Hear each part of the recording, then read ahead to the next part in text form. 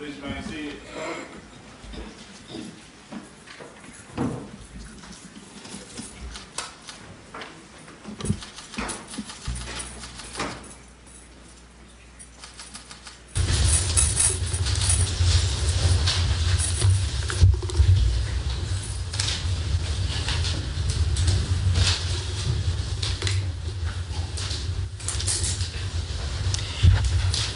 Sergeant Burgess, are we ready to proceed? Yes, Your Honor. Your Honor, this is going to be position number 18 on the prelim hearing in calendar A, Judge Hazelwood. Counsel. State House to Detective Jennifer Bennett, the Roswell Police Department.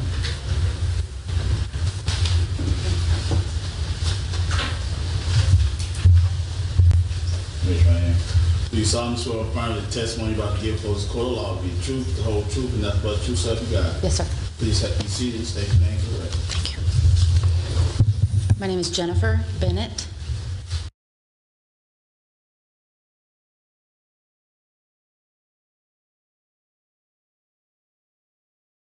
I work at the Roswell Police Department. and in what position are you assigned at that? I am a detective at the department. And what do you do as a detective? I work typically crimes against persons cases, which includes any type of crime that would occur against anybody. So you also investigate homicides? I do.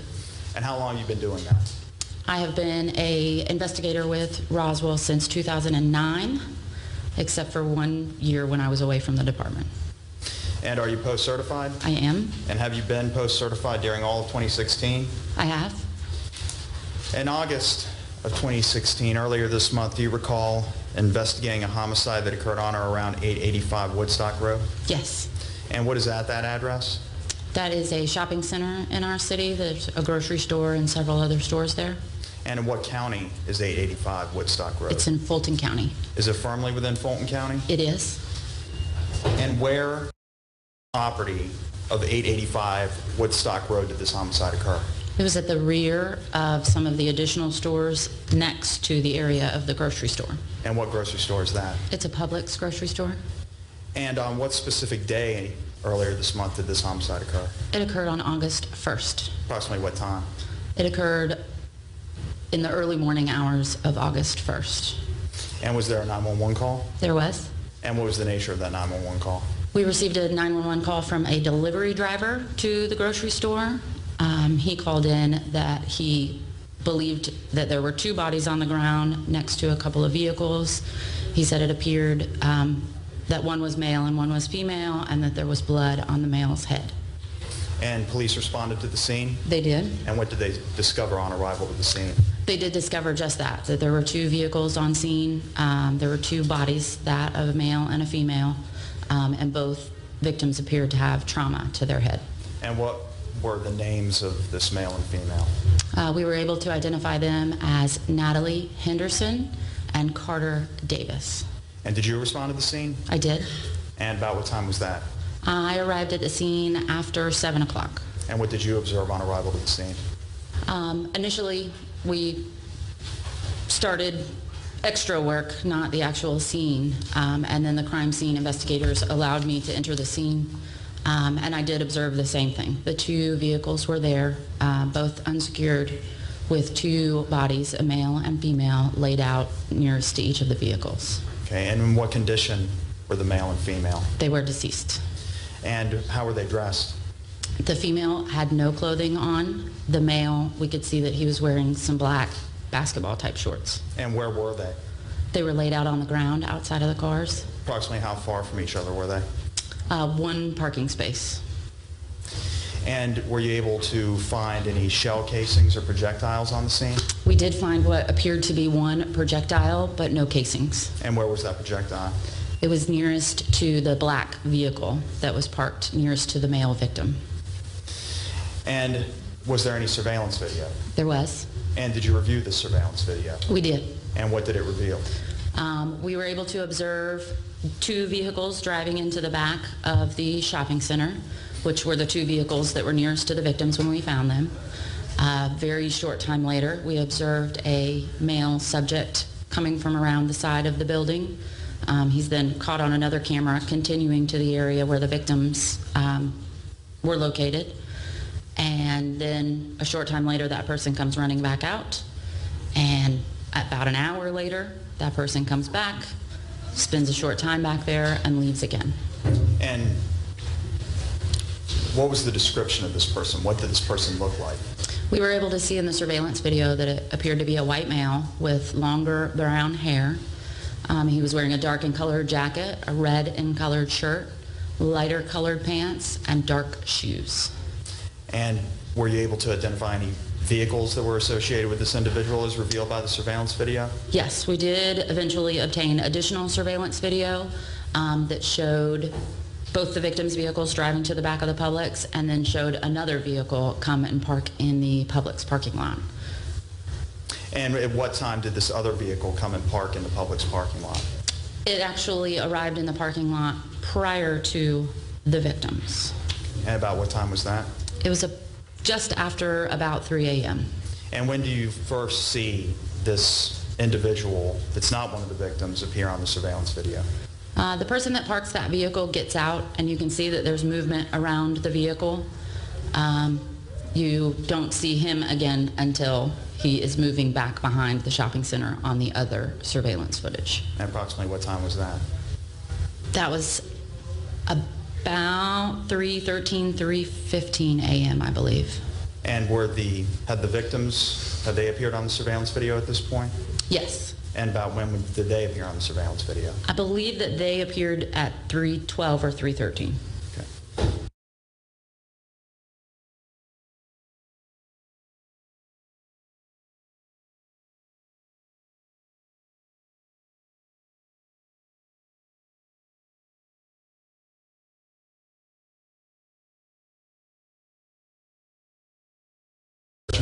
At that time, it did not appear that way. And then what happened next? it, that we can see on the surveillance video, um, the next thing that we knew that happened, we were able to discover that one of the victims' um, cards had been taken, her debit card, and used at a gas station in Woodstock. So we were able to obtain that surveillance footage as well um, and get a proper vehicle description that matched um, the footage that we had previously from afar. Okay, so following your on-scene, your crime scene investigation, what did you do next? Um, I did make contact. I was notified that there were families of missing children uh, on scene, and I did make contact with those families and let them know the nature of the investigation that we were conducting, although at that time I could not provide them with the identification. And then what happened? May I refer to my notes? Uh, Yes, please.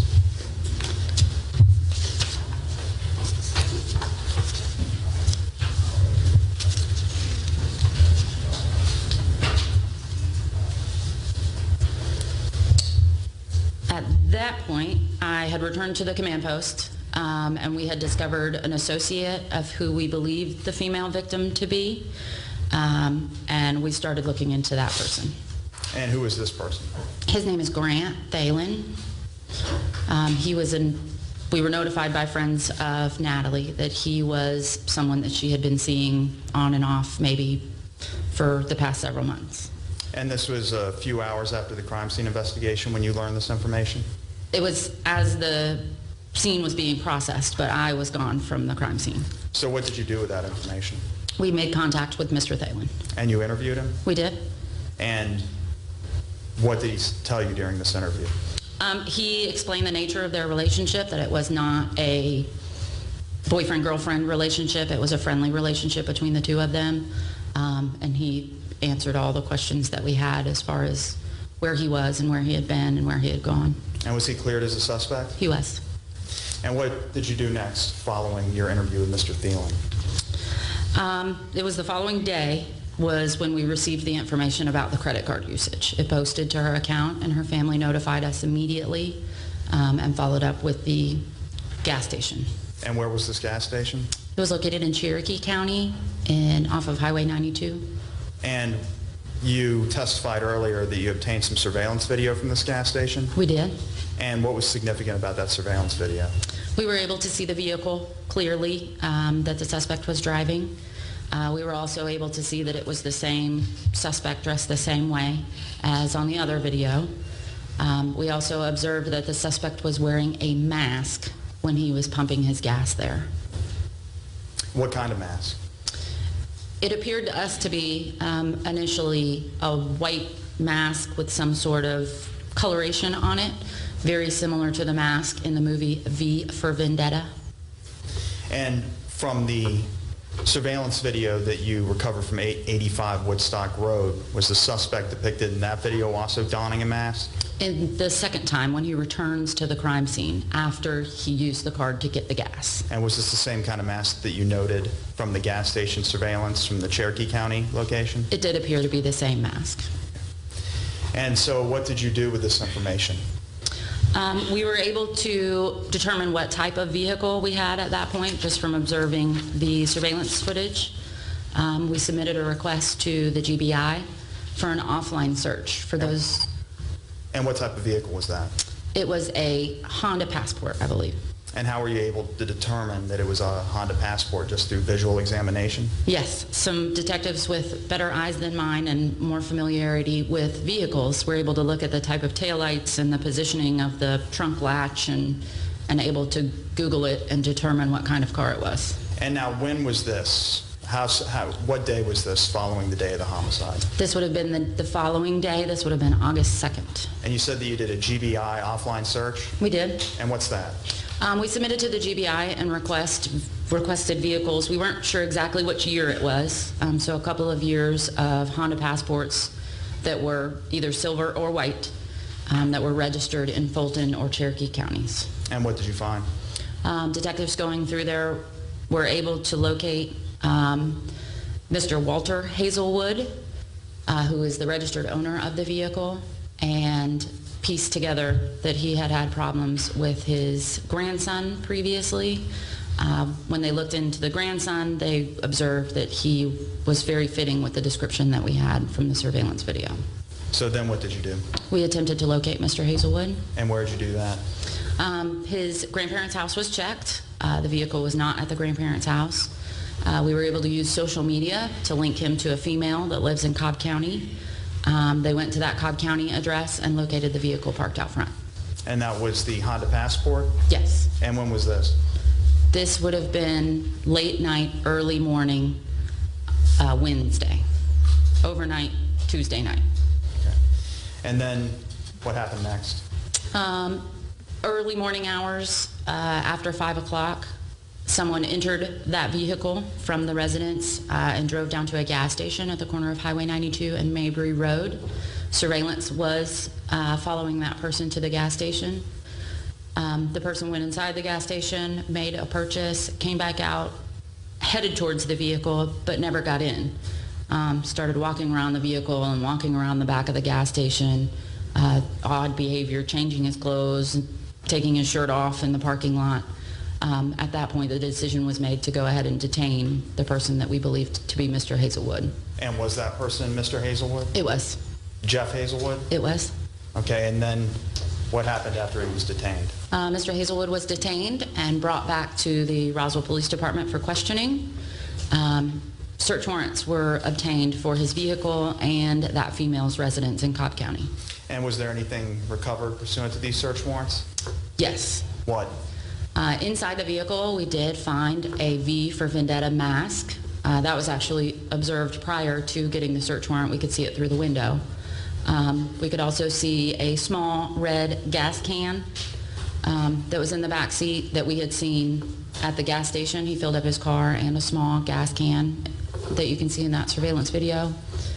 Um, Pursuant to the search warrant, we also recovered a 9mm firearm out of the back of the car um, and several other items that were consistent with things that we had seen throughout the case. And what kind of firearm was that 9 millimeter? Uh, It was a Sig Sauer. And you testified earlier that you recovered a projectile from the crime scene? We did. And have you been able to determine if that projectile matches that Sig Sauer 9 millimeter? That has been sent to the GBI, but it's my understanding that it's consistent with coming from that type of gun. Okay. And so you also interviewed Mr. Jeff Hazelwood? I did.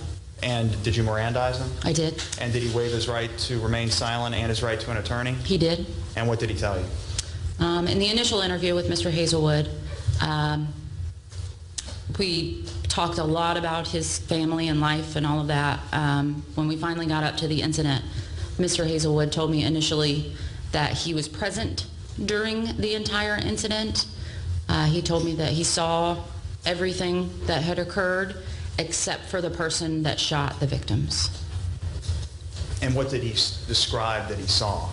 Uh, he described that he saw the bodies fall and how they how how they had fallen. Um, he described that he saw that the girl was not wearing any clothing. Um, he described the vehicles. He admitted to going into the vehicles and taking items from them. What items did he take? He did take the debit card uh, from Natalie's vehicle from inside of her purse. And he admitted to that? He did. Okay. And he did it maybe in the second interview. We did two interviews with Mr. Hazelwood, um, but during the interviews, he did admit that he took the card and used it. Okay, so let's get to that second interview. Okay. What, what day was that? That was the following day. That was on the 4th. And did you Mirandize him again before that interview? I did. And did he waive his rights to remain silent and his right to an attorney? He did. And what did he tell you during the second interview, and how did it differ from what he told you during the first interview? The second interview, um, we went over the same information that we had done the day prior. Um, and this time, Mr. Hazelwood started his story with he had driven someone else to the scene and they instructed him to do everything that he did to the victims. Um, as the story progressed, he started saying that he did these things and using the word I and, and taking responsibility upon himself for doing them. And what things did he say that he did? Um, he admitted that when he originally observed the vehicles, he became curious as to why they were going behind the Publix. Um, so he followed them back there. Uh, he admitted to watching them from behind an electrical box for some time. Um, he then told me that he climbed on top of the store and watched them from the top of the store. Uh, and then he decided, or this person told him to confront them. So he went over and opened the back seat of Natalie's SUV, the, the back area of her car where both of the teenagers were inside, um, pointed the gun at them and told them to get out of the car. Um, at that point, he said that there was an exchange between he and the male subject, and he hit the male subject with the gun as he was getting out of the car. Um, he said at that point he was demanding the female get out of the car, and he became scared of the male and shot him. And he said that he fell right there. Um, he said at that point he ordered the female out of the car. At that time, he said she was wearing a shirt and underwear. Uh, he made her get out of the car. He made her take her clothes off. And um, at that point, he said that he assaulted her sexually by digitally penetrating her. What do you mean by digitally penetrating her? He said that he put his fingers inside of her vagina. And what else did he say? Um, he said at that point um, he got the female out of the car and made her lean over the hood from the side of the car.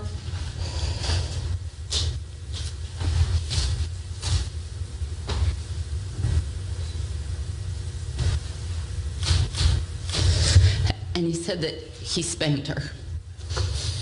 And was she still alive at this point? She was. And what else did he say?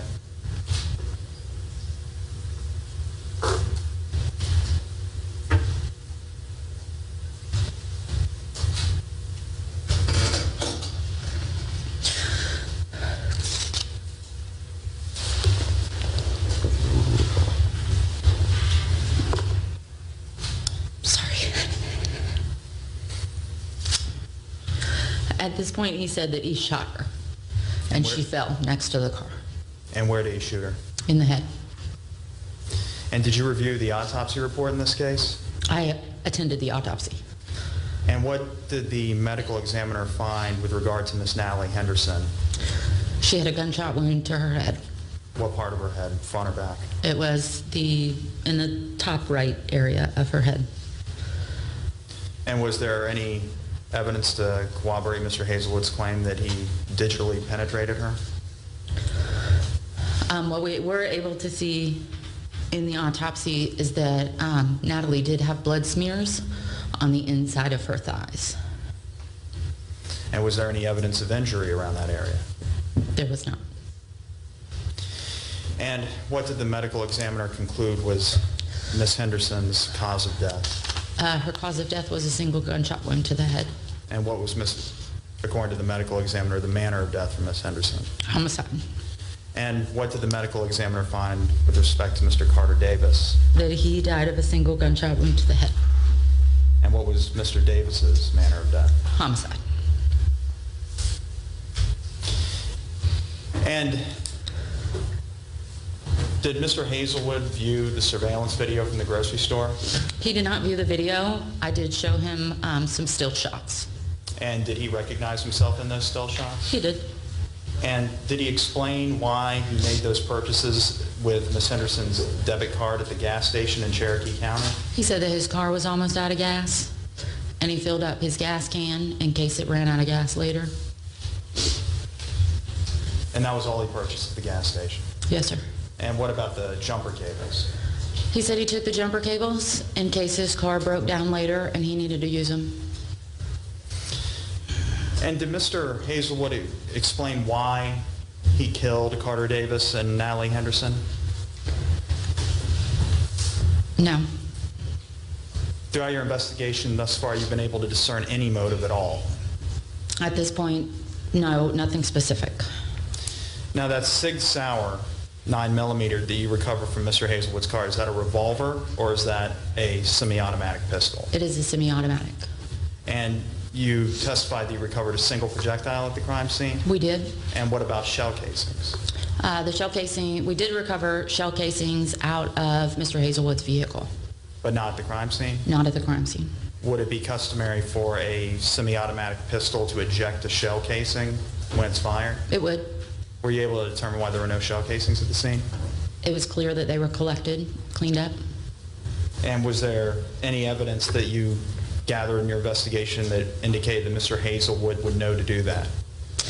Uh, Mr. Hazelwood um, writes a lot. We found a lot of writings uh, when we did a search warrant of his bedroom and his bedroom at his grandparents' house and also his vehicle. Um, one of the writings that I know about, uh, he describes wanting to be an assassin um, and how he would go about fulfilling that role. And were you able to obtain any cell phone records for Mr. Jeff Hazelwood? We were. And what, if anything, did these records reveal? Um, What I know of the records uh, is that his phone did hit off of the tower that is nearest the Publix um, sometime shortly before the homicides occurred.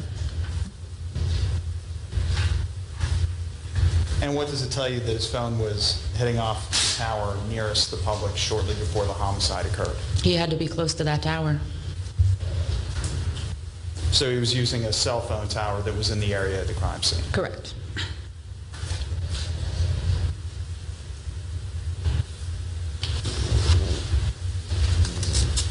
And where is Mr. Hazelwood today? Seated behind you, And what's he wearing? he has on the blue jail jumpsuit. And can you please point to him? He's right here. May the record reflect that Detective Bennett identified the defendant, Jeff Hazelwood? The record will reflect. Ms. Mundy. Certainly. Now, that 9 millimeter Sig Sauer, were you able to determine who owned that gun? Yes, sir. Um, In one of the interviews with Mr. Hazelwood, uh, he said that he stole it from his grandfather's truck. And did you speak with his grandfather? Yes, I did. Well, I did not, but yes, we did. And what did his grandfather advise? Uh, his grandfather advised that the gun that he kept in his truck normally was missing. And did the, and did Mr. Hazelwood live with his grandfather? Yes, he did. And where was that? It is in the city of Roswell in Uh, Fulton County. And did his grandfather have any information pertinent to this homicide? He did. Um, he and his grandmother both described being afraid of Jeffrey um, for a very long time. Uh, he had stolen firearms from them in the past and expressed homicidal and suicidal ideations.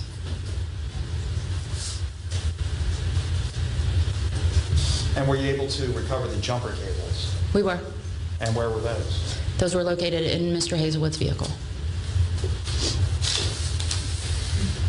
And during the autopsy report, let me back up, Mr. Hazelwood stated that he pistol whipped Carter Davis at one point. He did. Were you able to find any evidence of blunt force trauma, uh, apart from the gunshot wound to his head, but any evidence consistent with Mr. Davis sustaining a blunt force injury to his face? No, we were not. Further questions? Thank you. Cross-examination, uh, Thank you, Mr. Your Honor. Jacobs. Thank you, Your Honor. Good morning, Detective Bennett. Good morning, sir. I want to start out by talking about the crime scene. You had mentioned this was a pub- a shopping center, so there's a Publix on one end, Yes, sir. and then it's a long shopping center with a lot of uh, small shops. It's actually an L shape. L shape. So this Publix is one side of the L shape, and there are several other shops on the other side, and then there are standalone shops and banks out in the parking lot. Okay. And then there is a separate road behind it, which is where you go back for delivery trucks and behind all the shopping center. Yes, there is a circle that goes around the back. Okay. And behind the area where delivery trucks come, there is a fence, and then there's a wooded area behind that, correct? There is. Do you know, you said, I believe, on direct examination that Natalie and Carter arrived at about 3:13 that morning? Is that correct? I believe, it. y- yeah, it was close to that. Okay, and you saw on, how many surveillance cameras could you see their cars when they came in? We could see them on um, four, I think. Four different surveillance cameras picked up their cars? Yes. Okay. When they parked, when they eventually parked their cars, were- was that on surveillance at that point? Were parked? No, that was not in the camera view. Okay. How long after Natalie and Carter arrived did Jeffrey arrive on scene? About a minute. Did Jeffrey say where he was right before that? Um, he gave me a couple of different stories. Um, I know that a short time before, he was at a Waffle House in Cobb County. And you said this, the actual shooting was not on surveillance? That is correct. Okay. Is there any evidence that you have that Jeffrey knew either victim that night before he encountered them? Um, we have some connections, uh, but maybe not a personal knowledge of each other. What were those connections? Uh, Mr. Hazelwood is friends with a male subject that Carter knew from school, What is his name? uh, Mr. Peel, P-E-E-L. P-E-E-L. Yes, And that's a student at the high school with Mr. Davis? I believe he's still a student there. Okay. Have you talked to him? I have not. Okay.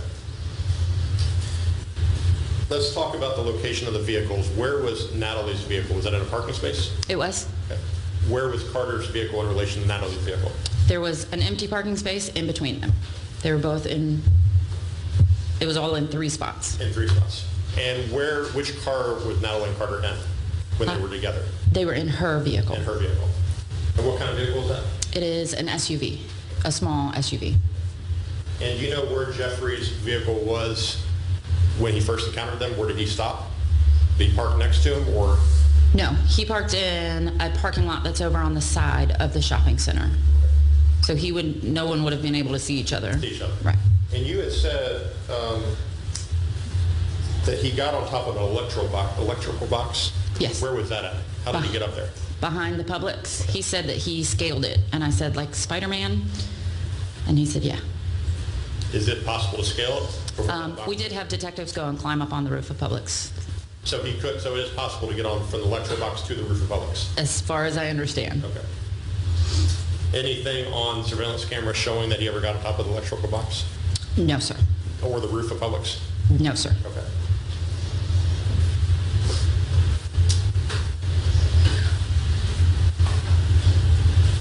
Is there any evidence, you said that on direct that at one point Jeffrey got in Natalie's car to take her purse or wallet. Correct. Is there any evidence that he was in either car besides that? Was he ever in Mr. Davis's car? Yes. Okay. How do you know that? He took the jumper cables out of the car. Okay.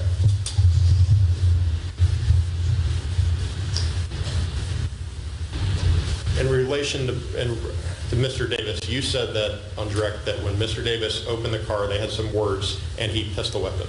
That's what Mr. Hazelwood told me. Was Mr., so Mr. Davis was standing in the doorway of the car? More or less. He described he was getting out of the car. So I don't know if he was standing or still sitting, but the door was open and he was getting out is how Mr. Hazelwood described it. And to your understanding, that's where Mr. Hazelwood shot Mr. Davis? No, sir. Um, we, the explanation for that that Mr. Hazelwood provided is as he hit Carter with the firearm, it went off. So he fired around at that point, but it did not hit anyone. Um, Crime scene evidence indicates that he fired the round into the ground. There's Um, evidence of that, that he fired into the ground? Yes. Um, So there was a shot fired there, but no one was hit with that shot fired there. When did, Mis- where was Mr. Davis when he was shot? He was closer over towards his vehicle. Um, On the driver's side of it, or? No, on the passenger side rear corner of his vehicle, And that's where he was shot, that you believe? the approximate area. Okay. Did Mr. uh, Hazelwood, after Mr. Davis was shot, is there any evidence that Mr. Davis's body was moved from one location to another? Um, There are changes in the blood spatter patterns, um, but I cannot, What were those changes? there, there's different movement in the patterns of the blood. So it's possible that he was moved or he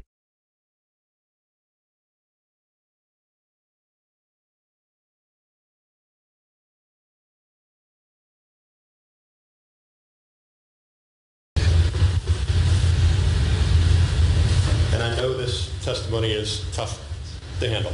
You had mentioned when Ms. Henderson was, had her hands on her car, and you had said that Mr. Hazelwood had spanked her. Yes. Is there any evidence that you could see from that Um, to cooperate with that? There were some markings on her behind, um, but I I don't know that you could clearly say that's what they're from.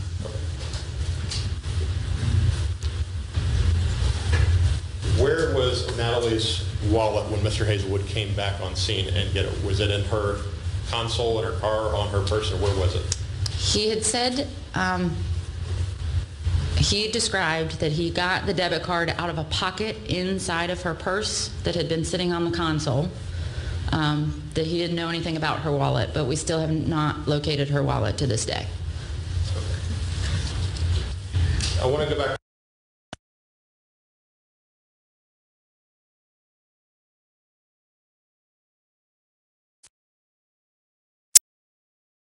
The first time that he was back there was approximately 20 minutes. 20 minutes. And you could see his car leaving about 20 minutes later. Correct. Yes. When, how long after that did he come back on scene? It was about an hour, maybe a little bit more, a couple minutes more. Do you have any knowledge based on cell phone evidence or anything about where he was with, during that hour?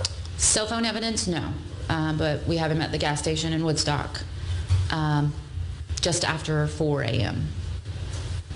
So when did he come back on scene to take Natalie's wallet? He took the wallet the first time. He took the wallet first time? Yes. My, my understanding is you testified that he came back on scene at some point after he initially left. He did. When was that? Um, That was approximately an hour later, after 4. So if he arrived on scene at, say, 3:15, he was back there until 3:35 approximately. Mm-hmm. He came back on scene about 4:35? I believe so. Okay. And how long was he there that time? He was there about seven minutes the second time. And you said that time you saw him running with a mask on on surveillance tape? That's correct. When he left, he was running. Okay. And what did he, what was he wearing when you, when you saw him running on camera? Um, He was wearing the mask, still the dark jacket, still the red shirt, light pants, and dark shoes. Did you see his car ever come on surveillance that time, or you just saw him running behind the Publix?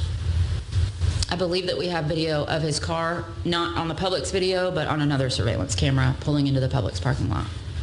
Oh, I'm sorry. We do. We have him leaving the Publix parking lot from that incident. Oh, so the second time he came back on Yes. scene, you saw him running, and then you also saw his car leaving Yes. the Publix parking lot? Yes. Okay. In regards to the gas station, how, what time did he arrive at the gas station in Cherokee County? I don't know the exact time, but it was, I believe, just after 4 o'clock. Just after 4 o'clock, wouldn't he have, so he, so he took, he went to the gas station in Cherokee County and then came back to Roswell? Correct. Okay. And you said that when he was pumping gas, there was a surveillance camera that he had on the mask the entire time he was pumping gas? Yes. Did you interview the people at the gas station? I did not. Another detective did. Okay. You, you have any knowledge about what they said or if they had any conversation with him? No, no one made contact with him while he was at the gas station. Um, and I have not heard that any of the clerks even realized that he was out there.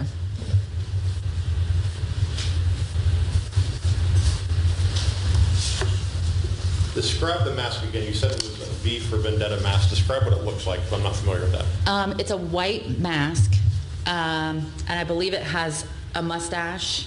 It's a mask that covers his entire head. It covers the front of your face. It has the strap that goes around the back of your head. Okay.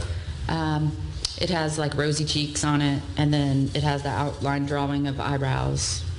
It looks like a person's face, but really white. Um, and And, and you're not aware if he had that mask on the first time he came at 3:15 in the morning? it does not appear that he had it on at that time.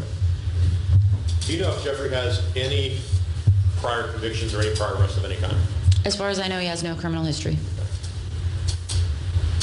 And you said that you had a search warrant, took Jeffrey's phone, cell phone, Yes, and you know that he was near the area because it pinged off a cell tower. correct.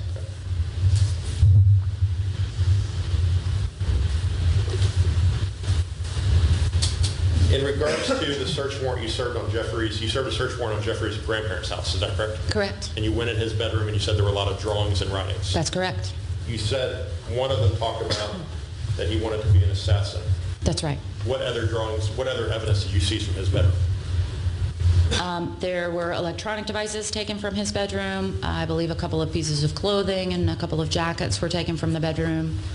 Um, other than that, I don't, I don't know what else was taken. Any other, any of that relevant to this case, to your knowledge?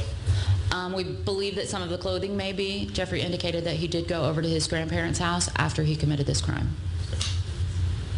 He went over to his grandparents' house after he committed the crime before he went to Cherokee County or later on in the day? I am, we were never very clear on at what point he went.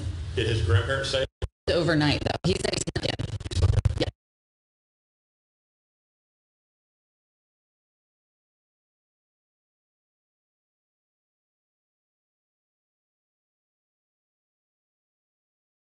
Detectives did, yes. And what did, um, did you search on the house? We did. And what did you find there? Um, we found more writings um, of Jeffrey's um, electronic devices there as well.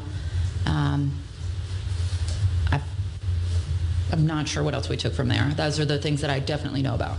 Did you interview Kelsey? I did not. Other detectives did. Do you know anything about the substance of that interview?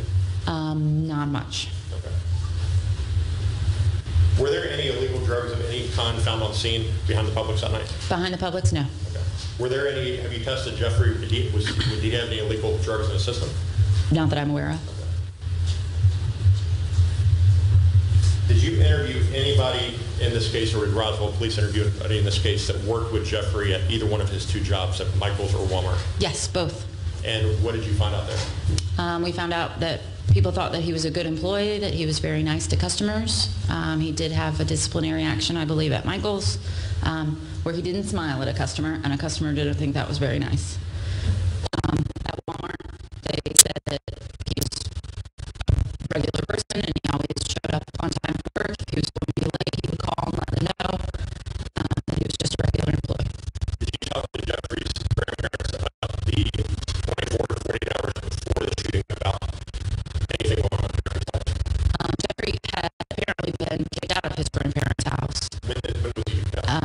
the deadline for him to get out was August 1st.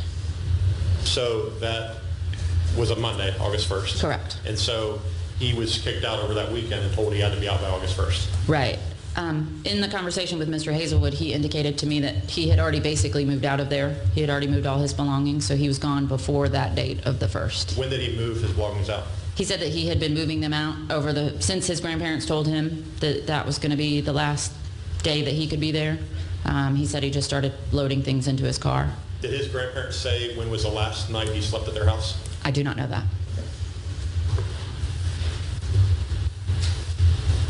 What other witnesses are there that you've interviewed in this case? There are a lot of people. um, lots of friends and family. Um, Friends and family of, obviously, the victims. Right, Yeah. and of Mr. Hazelwood as well. Who have you interviewed that is friends and family of Mr. Hazelwood, besides his grandparents and Kelsey? Right, we've tried to contact, we've, yeah, we've gotten in contact with Kelsey, um, and we are trying to get in contact with the rest of his friends and people on Snapchat, trying to identify who people are. And you, did you personally interview his grandparents, or did somebody else? I did not, there were other detectives at their house. Okay.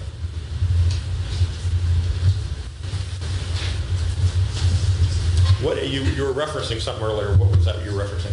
It's just a very basic overall summary of, of what, what we've done so far, Okay. some of what we've done so far. I want to talk about, you alluded to on direct that you interviewed him, or or Jeffrey was interviewed one time the first day, and then at least one time the second day. Yes. Okay. I want to talk about those. Okay. Who, the first time, you remember the date and time he was interviewed? Yeah, the first day um, was August 3rd. That was the date of his arrest. Um, And I believe we started the interview sometime late morning. And you know who was in that interview? I was. Was anybody else in that interview? They were not. Was that interview video and audio recorded? It was. And on direct, you said that you um, read Mr. Hazelwood's Miranda rights. Correct. Did he understand his Miranda rights? He said that he did.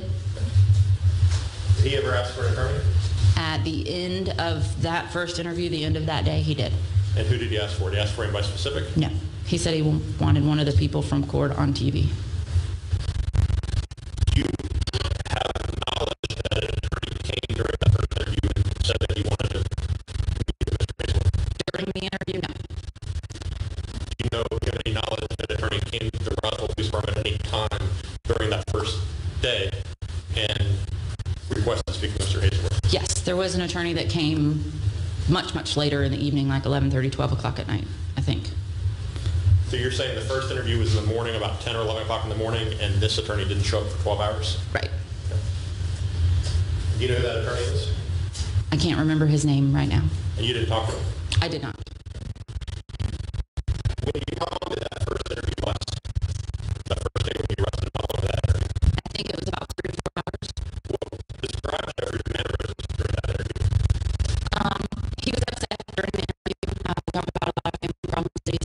You want your attorney here? Yes, And what did he say to that? he said no.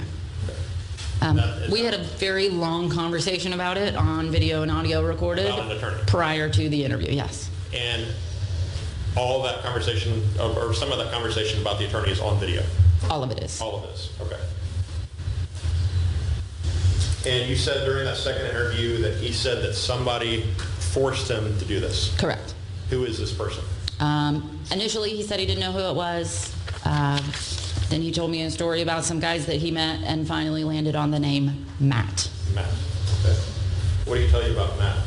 Um, he said that I guess he had originally met Matt in passing at a shopping center in Roswell, um, and they decided him and another guy were all going to smoke weed together.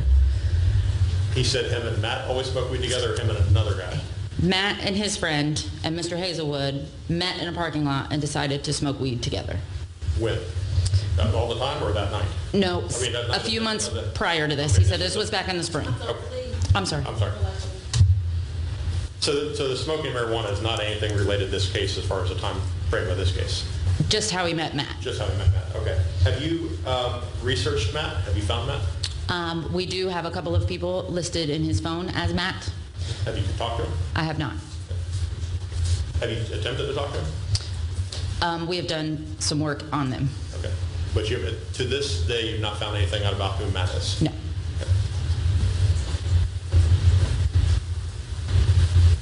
Have you obtained Jeffrey's medical records? I have not. Did he sign a release allowing you to to obtain his medical records? He did not. During your two interviews with him, did he exhibit multiple personalities? He did not. Are you aware that he's a diagnosed schizophrenic? I am not. Are you aware that he is diagnosed bipolar? I have not been oh, made aware of that. Are you aware that he is diagnosed with sensory disorder? No, sir. Are you aware that he is diagnosed with Asperger's? No, sir. When you interviewed, um, or when the Roswell Police Department interviewed Jeffrey's grandparents, did they talk about the times he's been a patient at Ridgeview Mental Institution? I believe that they did talk about times that he had been in the hospital. And how long ago was that? Did they say when he was at Ridgeview? I am not aware of a time frame. And Jeffrey's grandparents, you said earlier, had been at times scared of Jeffrey. That's what, yes. Are they scared of him because of mental illness, or did they say? I'm not sure.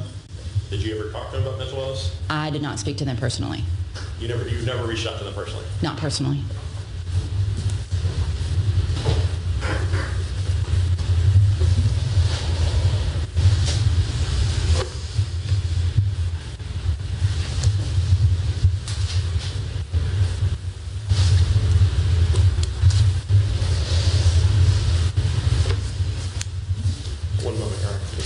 counsel.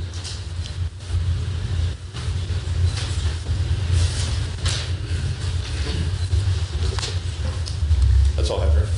Thank you. Thank you, Your Honor. Any redirect, Mr. Sprinkle? No redirect, Your Honor. You may step down. Thank you. Any other witnesses, Mr. Sprinkle? State, Your Honor. Any witnesses, uh, Mr. Jacob? Uh, No, Your Honor. Closing? I would submit the facts, Your Honor. Your Honor, the state respectfully requests that the court find probable cause on a total of 11 counts to include two counts of malice murder, two counts of felony murder, two counts of aggravated assault with a deadly weapon, one count of aggravated sexual battery, one count of identity fraud, two counts of misdemeanor theft by taking, and a single count of possession of a firearm during the commission of a felony. The evidence at the hearing showed that on August 1st, 2016, shortly after 3 a.m., Jeffrey Hazelwood went behind the Publix on Woodstock Road in Roswell and shot Natalie Henderson and Carter Davis in the head with a handgun. He had been stalking them from afar from the Publix rooftop and other areas around the shopping center. This is by his own admission. He tortured Miss Henderson before he shot her. He bent her over the car and spanked her, and he also digitally penetrated her uh, immediately prior to shooting her. While Mr. Hazelwood at first stated that he just happened upon them and took the debit card and the jumper cables uh, after they had already been killed, uh, and seemingly mocked the interview process as he spoke in a foreign accent. He would later reinitiate contact with lead detective Jennifer Bennett, and which he fully confessed, admitting to everything that he did. Uh, he did voice a defense of duress. Uh, there's no evidence at this time that there was anybody with Mr. Hazelwood, that this person, Matt, even exists. Um, and even if he did, duress, of course, is not a defense to murder. Uh, so the state believes that it has presented enough evidence today for the court to find probable cause on the 11 counts that I requested, and the state respectfully requests that the court find probable cause on those 11 counts. Thank you. Thank you. Anything further, counsel? Nothing further, The court has considered the testimony presented. Court finds probable cause on two counts of malice murder, two counts of felony murder, two counts of aggravated assault with a deadly weapon, one count of aggravated sexual battery, one count of identity fraud, two counts of theft by taking, and two counts of possession of a firearm during the commission of a felony. Case will be bound over. It is so ordered. Anything further, counsel? Nothing, Your Honor. Thank you. Case will be reset for September 9th for grand jury.